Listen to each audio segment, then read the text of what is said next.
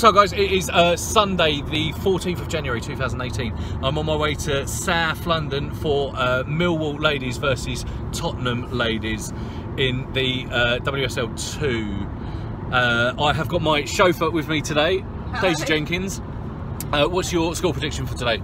Uh, I think 2 1 Millwall and Brooksy to score in the new boots. Happy six months! uh, yeah, I'm going to go with a Millwall win today as well. I think um, I've seen Tottenham play; they're a good team, but I think Millwall are just going to edge it. So, uh, all right, let's um, find the ground then.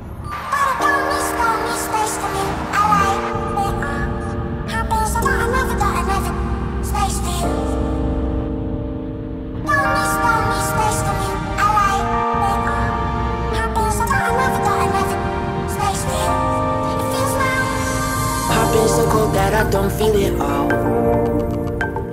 Scarred up inside so I built all these walls. My head rolling back but I'm faking the rush Out every night and I'm lonely as fuck. I make my own in my own plans Got no room for no man, that's my way. That's my way.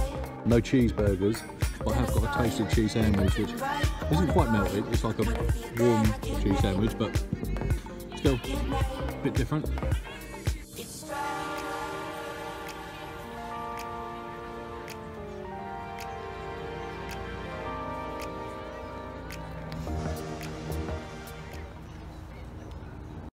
referee's just about to get the game underway. I should really plug my microphone in, but I'm going to get all tangled up. I'm trying to take photographs today as well.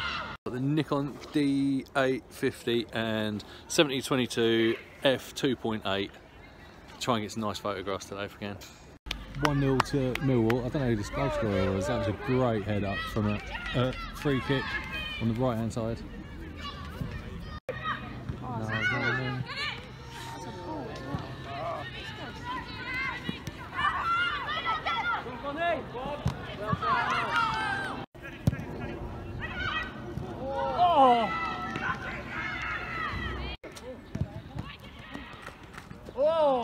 Half time here at wherever we are. Where are we?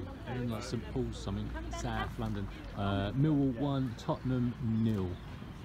Not been a bad game so far, it's been quite scrappy. Um, but good chances for mainly for Millwall. Um, a lot of action going on just in front of us here uh, between Neville, I think Tottenham left back, and um, Megan Wynne on the right wing.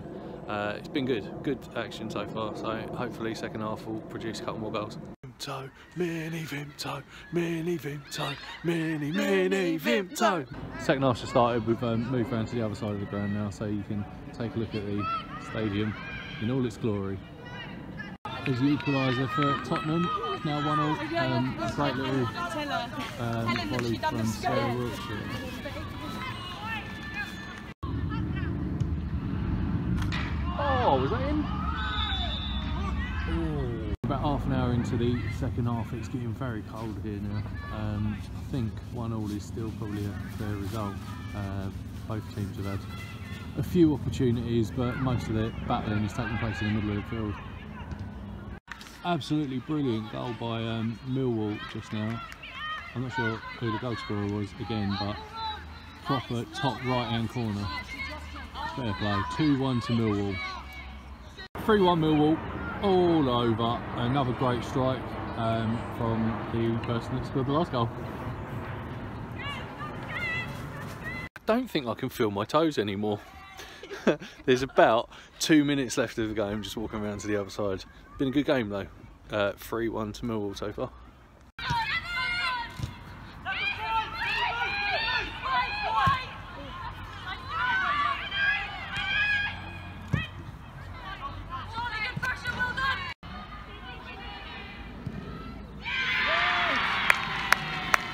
4-1 to Millwall and that was the last kick of the game. Good result for them. I think both teams were very evenly matched but Millwall have just got the um, the firepower up front that I think Tottenham are, are, lacking at the moment. As much as I like Sarah Wiltshire, I think she needs a little bit more help. Maybe a little bit of a pain in the arse to get to this ground but if you don't live around here then you sort of appreciate this kind of view a little bit more I think. Canary Wharf in the background. Right, back in the car now. We've um, got the heaters on full blast, although you can't hear it. Um, trying to warm up a little bit. Good game in the end. I enjoyed that. Um, my players of the match, I think, would be um, Megan Wynne for Millwall, and I don't know the name yet. Um, blonde midfielder as well. She was very impressive. Um, for Tottenham, probably Neville. I think le- le- was left back or wing back, left wing back she um, she was very impressive as well. So, but um, a lot of lot of good players on both teams. It was a really enjoyable match. Um, not sure what I'm going to be recording next, but if you enjoyed the video anyway, thank you very much. Um, give it a thumbs up and please click on the subscribe button. Say goodbye to Daisy, See ya. and we'll catch you later.